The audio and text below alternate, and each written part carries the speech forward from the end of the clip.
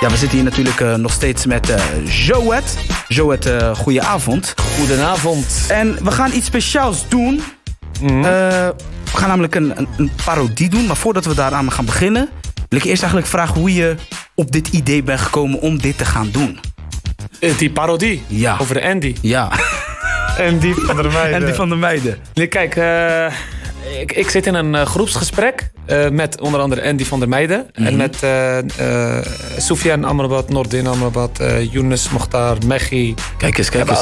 De voetballers, profvoetballers. Ja, uh, Oessi zat erbij, Labiat volgens mij ook. Mooi, het was een gezellig groepsgesprek. Oké. Ja? En je weet hoe groepsgesprekken gaan, toch? Ja. Iedereen gaat elkaar kapot maken. Ja, ja zeker, zeker. nou, mooi. Andy erbij. was dus een paar keer aan de beurt. en toen ging ik via een spraakmemo uh, zo'n klein stukje freestylen. Over, uh, over Andy. Ja. Je weet toch? Had ik zijn leven een beetje samengevat in één minuut. Dat kan ook maar makkelijk in één hij, minuut. Hij heeft dikke huid, man. Hij heeft niet alleen een dikke buik, maar ook de Andy. Ik hoop dat je luistert. Uh, dikke fuck. en dan maken we elkaar helemaal af. Oké. Dus uh, ja, ja, man. Ik, ik, ik, ik, ik, wil, hem, ik wil hem ook graag uh, zien en horen. Ja. Dus als jij doen. ready bent, dan...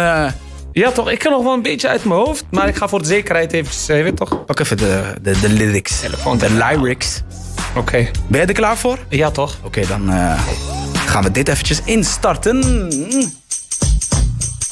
Andy, roze dakduif.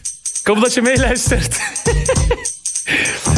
In het westen van Arnhem, geboren en getogen. Daar woont die dikke en die dieven allemaal vermogen. Bij Ajax dacht iedereen, dit wordt een hele grote. Uiteindelijk bracht hij heel zijn leven naar de kloten. In Milaan werd het niks, dacht alleen aan chicks. En ook een chocola, koek, snoep en chips. In plaats van te gaan trainen, liep hij alleen te feesten. En met een Ferrari die niet van hem was te racen. Beetje bij beetje werd het een enge man. Probeerde het ook bij Everton in Engeland. De trainer, nee, die kon hem ook niet wakker maken. In de kleedkamer was het al een grappenmaker. Het gewicht dat hij had was niet wat hij wilde. En hij leek op Miss Boelstrank van Matilda. Alles ging fout en niks zat meer mee. Het werd ook helemaal niks met Rutte bij PSV. Eind goed, al goed, kwam Melissa tegen. Nu zit hij vastgeketend, het gaat beter in zijn leven. Als je ergens naartoe moet, dan kan hij je liftje geven. Dan, Danny, dan, Danny, dan, Danny, hoe Andy. Figater, el Hollandi, hoe Andy.